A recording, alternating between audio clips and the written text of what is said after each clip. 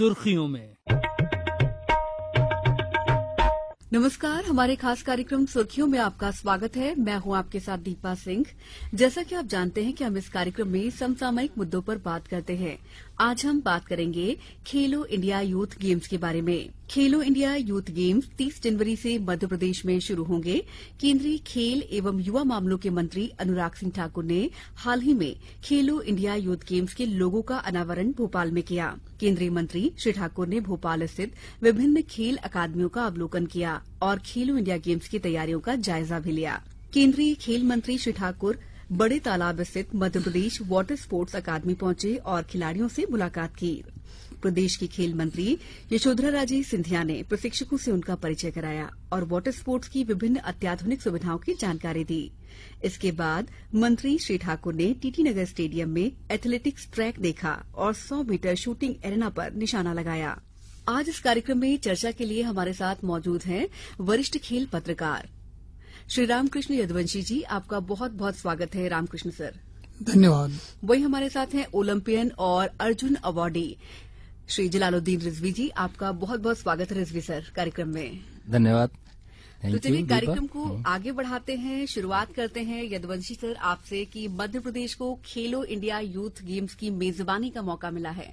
इसको आप कैसे देखते हैं? यह निश्चित ही प्रदेश के खिलाड़ियों के लिए बहुत ही अहम रहेगा क्योंकि किसी भी बड़े खेल आयोजन के बाद जो उसके लिए इंफ्रास्ट्रक्चर तैयार होता है एक आधारभूत ढांचा तैयार होता है सारी सुविधाएँ होती वो आगे जाके आ, हमारे यहाँ के खिलाड़ियों के लिए बहुत उपयोगी होता है उस पर वो प्रैक्टिस करेंगे उसका लाभ उठाएँगे तो आगे जाके जो इससे भी और बड़े गेम है नेशनल गेम्स हैं अभी गोवा में नेशनल गेम्स होना है फिर इसके बाद में एशियन गेम्स है एशियन गेम्स के बाद ओलंपिक है वर्ल्ड कप है तो ऐसे बहुत बड़े आयोजन के लिए उनको तैयारियों के लिए मौका मिलेगा इस सुविधा का वो लाभ ले, लेंगे। और मैं बता दूँ कि ये पांचवा खेलो इंडिया यूथ गेम्स है। और इससे पहले अभी हाल ही में इसी साल पंचकुला में इसका चौथा संस्करण हुआ था जिसमें मध्य प्रदेश काफ़ी अच्छा परफॉर्मेंस किया था। हालाँकि मध्य प्रदेश की रैंकिंग उसमें करीब आठवीं रही थी और अड़तीस मेडल जीते थे जिसमें बारह गोल्ड थे। इस बार हम होस्ट हैं तो पिछले उसमें हमने सौ खिलाड़ियों ने मध्य प्रदेश के खिलाड़ियों ने भाग लिया था।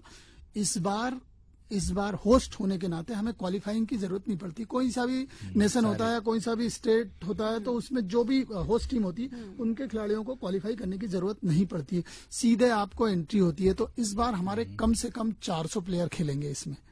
खेलो इंडिया यूथ गेम्स में। पिछले उसमें सौ खेले थे। सौ में हम अड़तीस मेडल जीते थे और आठवें स्थान पर हम इसमें अब सौ चार सौ खिलाड़ी उतरे तो हाँ तो, तो और इसमें पहली बार पहली बार वाटर स्पोर्ट्स जोड़ा गया है। वाटर स्पोर्ट्स तो हमारे यहाँ की जो वाटर बॉडी है वो जग ज़ाहिर है।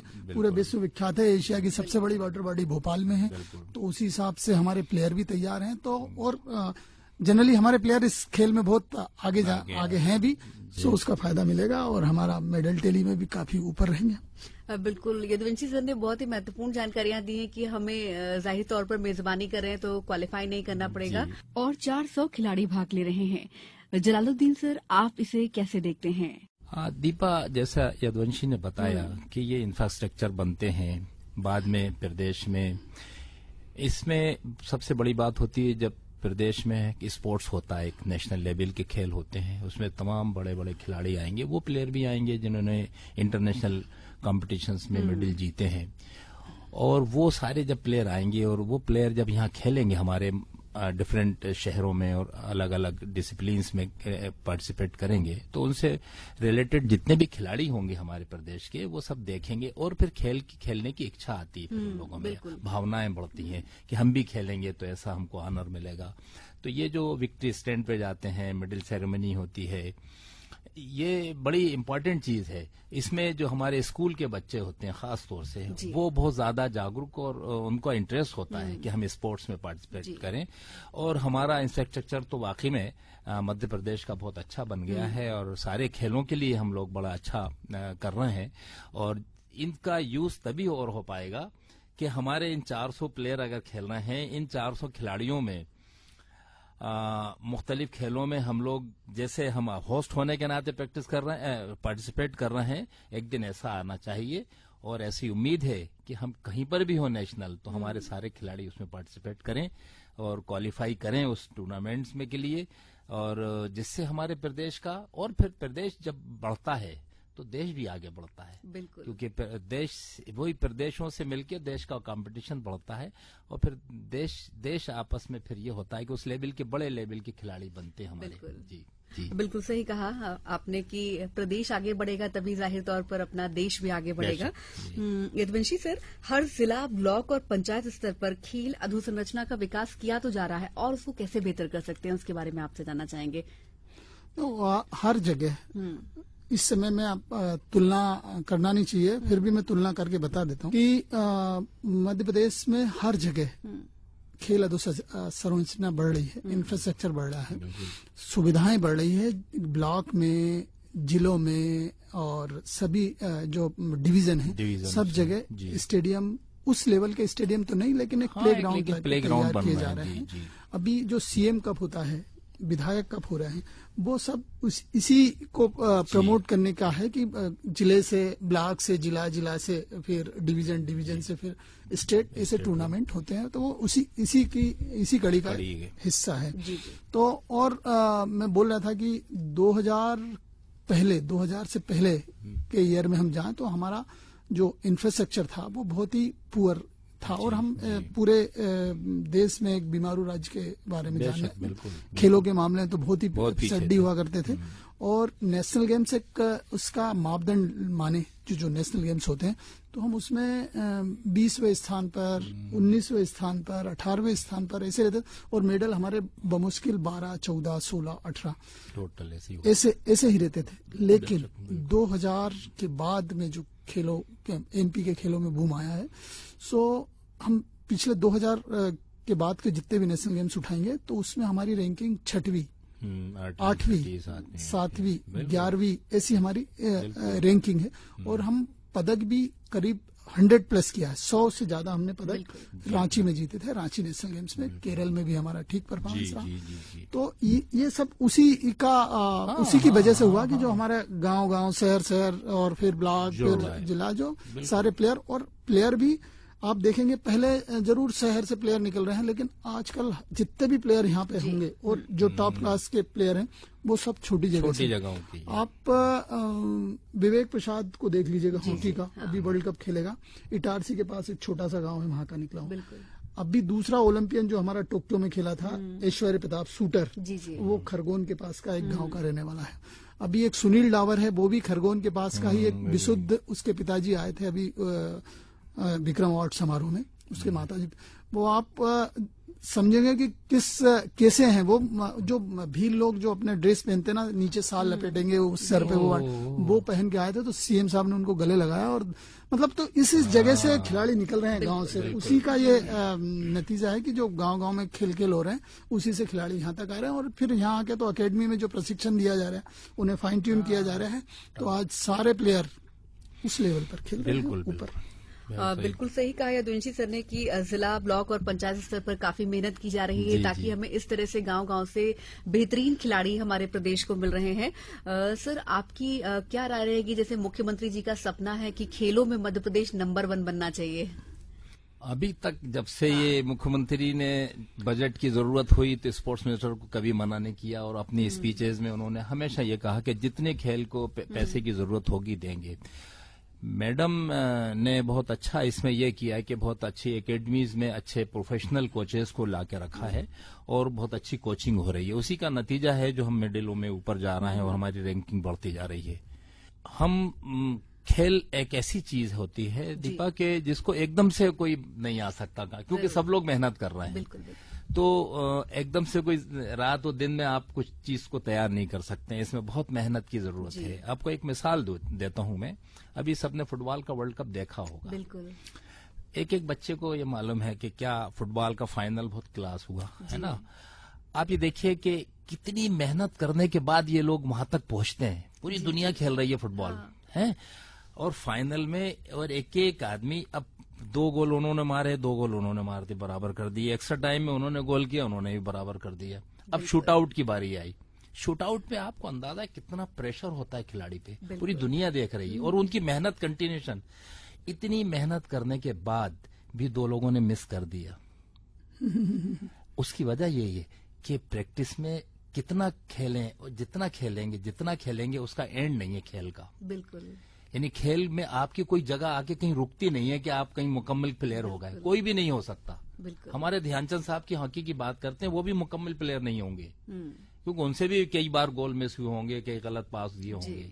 तो ये ये जो बात है तो खेल में हम मुख्यमंत्री की जज्बात और उनकी जो खेल भावना है उसको उसको बढ़ाना प्रदेश के सारे लोग कर रहे हैं उस पर बहुत ज़ोर भी लगा रहे हैं और मैं समझता हूँ कि वो सपना होगा पूरा क्योंकि उन्होंने प्रदेश के बाहर भी लोगों को बहुत लाखों रुपया बांटा है। जी जी। गर्ल्स टीम को दे दिया बॉयज़ टीम को दे दिया तो खेल के प्रति बहुत उनकी अच्छी भावनाएँ हैं। तो ये ये मेरी उम्मीद है कि जिस तरीके की एकेडमीज चल रही हैं लेकिन इसमें एक और चीज़ मैं कहना चाहता हूँ कि खेल को किसी भी तरीके से प्राइवेट क्लबों को ज़िंदा कर देंगे तो और कंपटीशन बढ़ेगा।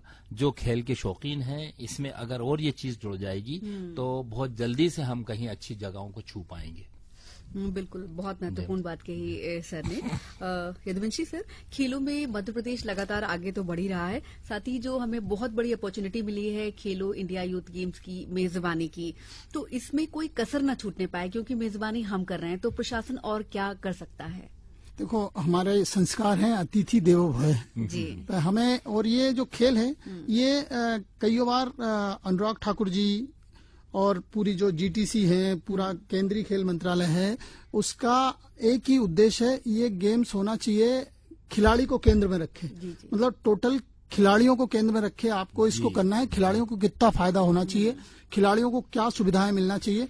मैं आपको बता दूँ कि इसका एक जो नॉर्म्स है जो इसकी एक जो वो है कि खिलाड़ी जो भी आ रहे हैं उनको आप थ्री स्टार होटल जो है उससे नीचे नहीं ठहरा सकते।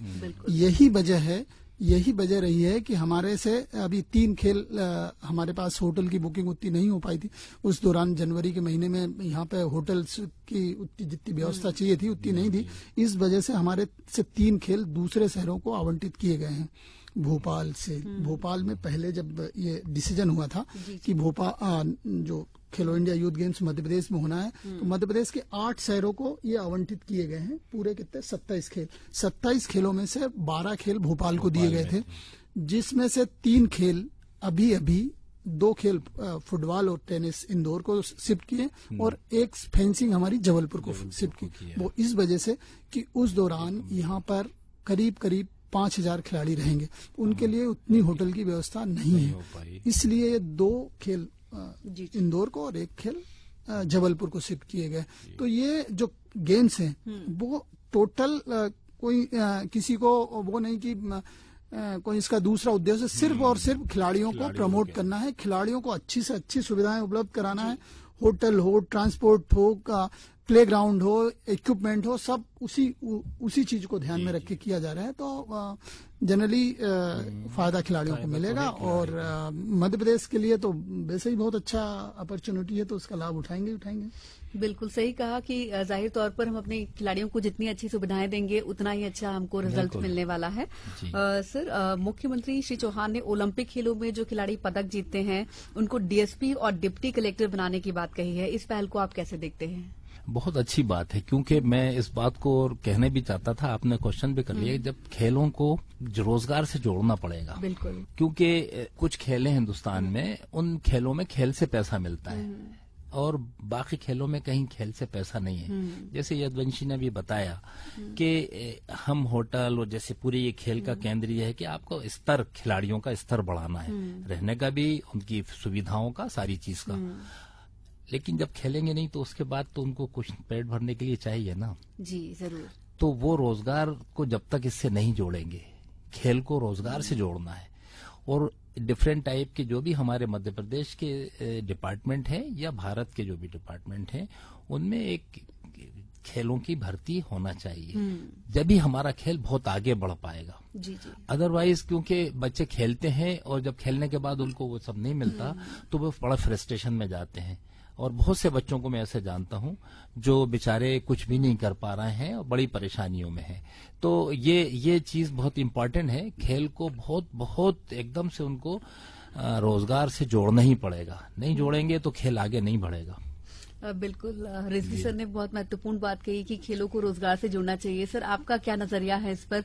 किस तरह से सरकार और कोशिश कर सकती है? जो कि आप खेल पत्रकार है तो आपके जानना हाँ, और इससे पहले एक खेल विभाग और पुलिस विभाग में एक एमओयू साइन हुआ था, जिसमें वो हर साल साठ खिलाड़ियों को, जो नेशनल मेडलिस्ट हैं, उनको सीधे, जिसमें से दस को सब इंस्पेक्टर और बाकी पचास को आप जो सिपाही पोस्ट पे भर्ती करने करने का प्रावधान बना भी था और उस पर काम आम भी चल रहा है। तो निश्चित ही सरकार खिलाड़ियों का ध्यान रख रही है उनके रोज़गार का भी ध्यान रख रही है और आ, मैं बता दूँ कि जैसे विक्रम अवार्ड समारोह हम हर साल दस विक्रम अवार्ड देते हैं खिलाड़ियों को।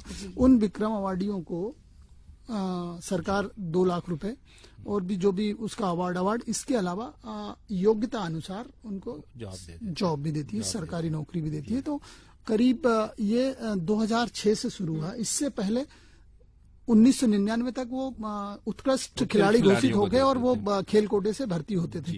तो उसको बीच में पाँच छह साल का थोड़ा सा गेप हुआ उन खिलाड़ियों को छोड़ दिया जा। तो इसके बाद में हर साल दस खिलाड़ियों को आप सरकार नौकरी दे रही है और अब ये साठ खिलाड़ी इससे पुलिस के साथ जो एमओ है पुलिस में चले जाएँगे। ऐसा है तो सरकार थोड़ा तो ध्यान रख रही है फिर भी इसको और ऊँचे लेवल पे ले जाना चाहिए। खिलाड़ियों को ज़्यादा से ज़्यादा ताकि क्या होता है कि जब खिलाड़ी अपने जो शुरू के जब वो करियर बनाता है हम्म। तो उसके दोनों तरफ़ सोच के चलता है। दुविधा में होता है कि अगर इधर नहीं सक्सेस हुआ हम्म। तो इधर तो करियर बर्बाद हो ही जाएगा दूसरी तरफ़। कहते हैं कि खेल में आप सक्सेस हो गए तो ठीक है नहीं तो डूबना तय है। डूबने के चांसेस नब्बे परसेंट रहते हैं इसमें। तैरने के चांसेस दस परसेंट ही रहते हैं। ये हर एक खेल में। हम्म। आप सभी आज 130 करोड़ के देश में हम्म। सभी तो वहाँ इंडिया नहीं खेलेंगे। बिल्कुल। कोई इंडिया नहीं खेल सकता। जो इंडिया नहीं खेले उन उन उन खिलाड़ियों का क्या होगा? वो तो कहीं के नहीं रहेंगे। इसलिए सरकार को रोज़गार से तो जोड़ना हम्म। ज़रूरी है तभी खेल आगे बढ़ेगा। रोज़गार की आप गारंटी किसी को भी दे दो कि आपका तो रोज़गार पक्का है तो वो आप उसका परफॉर्मेंस देख लीजिएगा वो परफॉर्मेंस बहुत अच्छा आएगा। अभी खिलाड़ी दुविधा में रहता है कि ऐसा ना हो कि मैं अगर नहीं चला तो मेरा क्या होगा आगे? बिल्कुल दीपक वो मैं इसमें और बात ये कहना चाहता हूँ आपकी बात को आगे बढ़ाता हूँ। अगर ये पुराने खेलों को अगर देखें मैं एक मिसाल देता हूँ। गामा पहलवान की। जी जी। इन हमारे यदवंशी साहब की बात को आगे बढ़ाना है कि जो दुविधा होती है ना बीच में कि हमें इधर जाऊँ या इधर जाऊँ तो वो जो बात है जब दोनों जगह जाएगा तो वो बड़ा स्पोर्ट्स स्पोर्ट्समैन आप उम्मीद नहीं कर सकते। कंसंट्रेशन तो एक तरफ़ करना ही पड़ेगा उसे। गामा पहलवान को जब दतिया के रहने वाले थे वो हम्म। हमारे मध्य प्रदेश के थे वो हम्म। यहाँ छोटी रियासत थी दतिया की उनको महाराजा पटियाला ले गए। हम्म। बड़ी जगह थी। महाराज ने उनको पटियाला महाराज ने उनको जगह दी और उनका एक अखाड़ा और एक घर बना दिया। और चारों तरफ़ खेत थे उनके। और बीच में पहलवान का अखाड़ा भैंसे और आपको उससे बाहर नहीं निकलना है। आपकी स, आपको कुछ नहीं करना ये आपकी भैंसें दूध लगाइए खाइए पीजिए रहिए हम्म। आपको किसी तरी, तरीके की कोई प्रॉब्लम नहीं है। हम्म।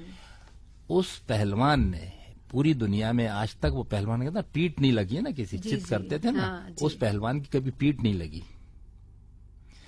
तो स्पोर्ट्समैन को पाला जाता है। जी। आप उसको अगर कंसर्न अच्छे स्पोर्ट्समैन को देखें हम्म। उन पर ज़ोर लगाएँ। अच्छे जैसे हमारे यहाँ अकेडमीज चल रही हैं उन पर ज़ाहिर है कि अच्छे बच्चों को चुन रहे हैं।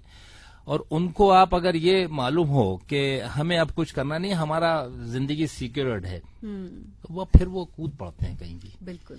हमारे यहाँ अभी वो बात नहीं आ पा रही है। मैं पूरे हम्म। देश की बात कर रहा हूँ।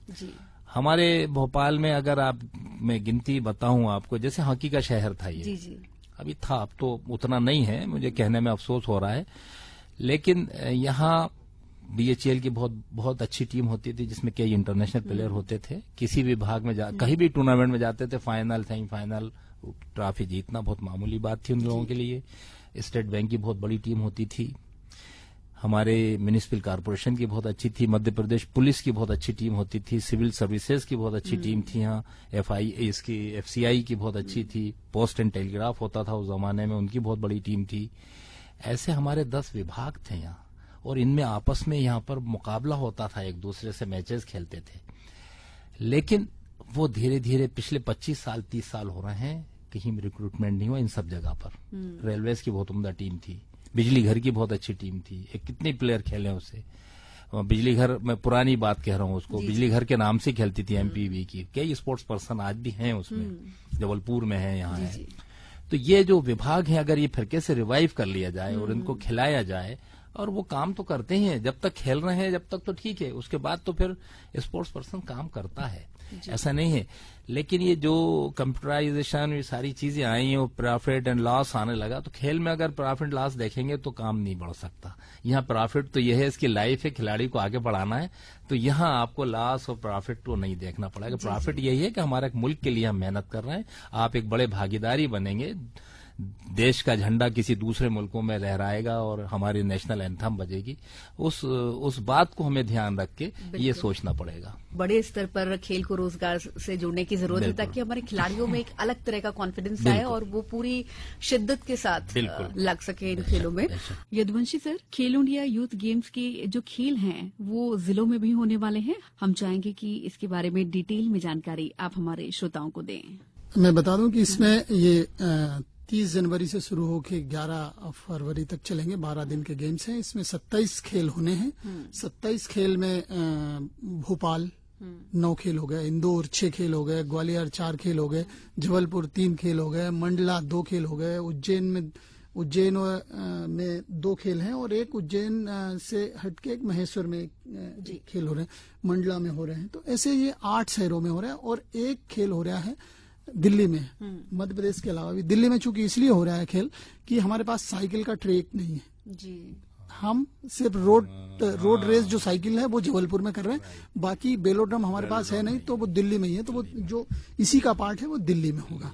ऐसे पूरे बारह दिन ये जो खेल चलेंगे सत्ताईस खेल होंगे और इसमें करीब करीब आठ एक हज़ार खिलाड़ी ले, भाग लेंगे और उसमें तीन चार हज़ार ऑफिशियल्स होंगे। ऐसे दस बारह हज़ार लोगों की पूरा यहाँ पे आएँगे और खेलेंगे। इसमें टोटल 1200 मेडल दांव पर रहेंगे। 1200 मेडल होंगे। मैं भोपाल की अगर बात करें तो भोपाल में जो नौ खेल होने हैं उसमें हमारी ये जो बड़ी झील है इसमें दो खेल होंगे कयाकिंग केनोइंग और रोइंग। साई सेंटर है। साई सेंटर में जूडो और वॉलीबॉल होना है। हम्म। चार खेल हो गए। पांचवा हमारा शूटिंग रेंज है वर्ल्ड क्लास वहाँ पे शूटिंग होगी। टीटी नगर स्टेडियम में तीन खेल होंगे एथलेटिक्स बॉक्सिंग और कुश्ती। और एक खेल हमारा बचा स्विमिंग तो स्विमिंग होगा प्रकाश तरनताल में। सेकंड स्टॉप पे। तो ऐसे पूरे सब दूर खेल बटे हुए हैं। तो खेल को बांटने का भी एक विभाग का या सरकार का एक उद्देश्य था कि यह किसी एक ही जगह का रह के नहीं हो जाए जैसे हम चाहते तो हाँ। भोपाल में ही करा लेते पूरे के पूरे सुविधा थोड़ी और जुटानी पड़ती उतना हमें इंफ्रास्ट्रक्चर तैयार करना होता हो जाता लेकिन पूरे पूरे प्रदेश भर में इसका प्रचार प्रसार हो लोगों को पता पड़े कि हमें हमें एक नेशनल यूथ गेम्स मिला है तो उसकी हमें मेजबानी मिली है इसीलिए पूरे तौर पर जो दूसरे राज्यों के खिलाड़ी आएँगे वो भी हमारे मध्य प्रदेश से हाँ। अच्छी तरीके से परिचित हो सके यहाँ के पर्यटन को देखें और यहाँ के लोगों से मिले यहाँ की संस्कृति को पहचाने। निश्चित ही निश्चित ही। अभी आप केंद्रीय खेल मंत्री अनुराग ठाकुर आए थे उन्होंने विक्रम अवार्ड समारोह में बोला था कि ये जो खिलाड़ी आए हुए जो पर्यटन मध्य प्रदेश आ रहे हैं वो उज्जैन महाकाल। लोग ही ना देखें यहाँ की खेल सुविधाएँ भी देखें। यहाँ आए और बिसनखेड़ी जाएँ और वर्ल्ड क्लास शूटिंग रेंज देखें घुड़सवारी एकेडमी देखें। हमारा जो बॉर्डर बॉडी है वो देखें टीटी नगर स्टेडियम देखें वो बोल रहे थे कि है वाकई ये पहले ज़रूर मैंने जो सोचा था कि जब आवंटित करते वक्त की कैसी सुविधाएँ होंगी लेकिन मैं जब यहाँ आके देखा तो मुझे जो सोचा था उससे ज़्यादा मिला देखने को। तो मैं सभी से अपील करता हूँ कि ये सारे खिलाड़ी आए तो पूरा भ्रमण करें और देखें कि क्या सुविधाएँ जुटाई हैं। वेरी गुड बिल्कुल बिल्कुल सही कहा सर आपने। सर जिस तरह से स्कूलों में खेलों को काफ़ी बढ़ावा दिया जाता है स्कूल स्तर पर और क्या कुछ किया जा सकता है? क्योंकि आप एक खिलाड़ी रहे हैं तो मैं चाहूँगी कि आप हमारे श्रोताओं को अपने अनुभव साझा करें। इसमें एक बहुत इम्पोर्टेंट बात है स्कूलों में कि हम्म। स्कूल के जो स्पोर्ट्स टीचर हैं हम्म। उनको जो और डिपार्टमेंट के और सब्जेक्ट के टीचर हैं उनकी उनको उनको भी बराबरी होना चाहिए। जी। बहुत अच्छी बात वो खिला वो बेचारे खेल वाले उनको सिर्फ़ विश्राम और सावधान के लिए रखते हैं। हम्म। ये बात बड़ी कमज़ोर है स्कूल निश्चित ही उसमें आपको कोचों को जोड़ना ही पड़ेगा तो ही खेल बढ़ेगा। आगे बढ़ेगा। अब वो निग्लेक्ट रहते हैं उन लोगों से। हम्म। खेल अब जब तक स्कूल आपको जब वो जो खिलाने वाला है हम्म। वही कमज़ोर होगा तो वो क्या करेगा? पीटीआई एक पीटीआई सारे खेल नहीं खिला सकता हाँ। लेकिन वो क्या है कि एक पीटीआई आपको फुटबॉल भी खिला देगा कबड्डी भी खिला देगा एथलेटिक्स भी खिला देगा तो जो ऑलराउंडर होने का जो दम भरते हैं वो असल में ऑलराउंडर मतलब कुछ भी नहीं होते कुछ भी नहीं। और जो एक किसी भी विधा में पारंगत होता है वो बिल्कुल। उसका स्पेशलिस्ट होता है बिल्कुल तो स्कूलों में एक पीटीआई ही सारे गेम खिला देता है जो भी 25 26 डिसिप्लिन होता है वो फुटबॉल भी खिला देंगे वो कबड्डी भी खिला देंगे एथलेटिक्स में भी दौड़ा देंगे बैडमिंटन भी खिला देंगे तो उतना उनको नहीं होता वो काम चलो काम कर सकते हैं लेकिन अगर आपको एक हाँ, स्पेशल तो- खे, खिलाड़ी तैयार करना है है तो- तो डिफरेंट डिफरेंट कोच आपको स्कूल में भी नियुक्त करना पड़ेंगे। और यदवंशी दूसरे सारे सारे स्कूलों में सारे खेल सुविधाएँ है भी नहीं। है भी करेक्ट एटलीस्ट जो जो स्कूल में जो जो खेल सुविधाएँ हैं उसमें आप अगर उस वो स्पेशलाइज टाइप के जो आपके कोचेज हैं अगर उस लेवल के आप खिलाड़ी अब रखते ग्राउंड भी नहीं बचे उतने। ना ग्राउंड ग्राउंड भी नहीं बचे। यानी बच्चों का ध्यान ही नहीं है खेल की तरफ़। जी। प्रॉब्लम ये है। जी। बच्चे पढ़ाई वो पढ़ रहे हैं खेल वो खेल रहे हैं जिसमें उनको पैसा मिल रहा है। बस। तो ये जो दौर आया ना मार्केटिंग वाला अच्छे पैसा और बड़ा पैकेज बड़ी पढ़ाई और बड़ी कार और बड़ा घर ये जो इस माहौल ने स्पोर्ट्स को बहुत डैमेज किया है। जिस दिन स्पोर्ट्स में बड़ा पैकेज हो गया भाई स्पोर्ट्स में पैकेज है क्रिकेट में है टेनिस में है पैकेज तो वहाँ जाते हैं सब लोग। माँ बाप लेके दौड़ना है वहाँ। हॉकी के मैदान पे नहीं आते माँ बाप ऐसे बच्चे भोपाल में खेलते हैं जो रात भर हमाली करते हैं और सुबह मैदान पे आते हैं। जी। ऐसे बच्चे हैं हॉकी खेलना है भोपाल में जो फुटपाथ पे दुकान लगाते हैं और फिर शाम को आके मैदान पे खेलते हैं। हम लोग उनके लिए सोच रहे हैं कि उनकी कुछ हम ऐसा करें जिनसे उनकी घर की कुछ चल पाए जैसे वो एक बार खेल में आ जाएँ और अच्छे बच्चे तो जिनका इतना शौक है ये सब जैसे यदवंशी साहब ने बताया ना कि छोटी छोटी जगहों से खेल में आ रहे हैं आगे। जी, जी, जी। अगर ये सब चीज़ें हम बहुत दिनों से इस बात को कह रहे हैं कि स्कूल एक तो आप स्कूल में एडमिशन ना दें घर के करीब वालों को दें बिल्कुल। और उनके मैदानों पे पूरी उनकी सुविधाएँ वहाँ पर पास में मैदान पे जाएँ बच्चे। ज़िंदगी सिर्फ़ इस बात के लिए तो नहीं है कि खाली पैसा ही कमाना। अपनी अपने स्वास्थ्य है अपनी ज़िंदगी है वो खेल में आके मिलता है। मैं बच्चों के लिए मैसेज देना चाहता हूँ कि आपको ये नहीं सोचना चाहिए। आगे चल के ये आएगा दौर। मैं समझता हूँ कि ये लोग इस सब तरफ़ से ध्यान हटेगा और यही सोचें क्योंकि हम लोग ने जो खेला है ऐसे नहीं खेला कि हमें कुछ इससे मिलने वाला था।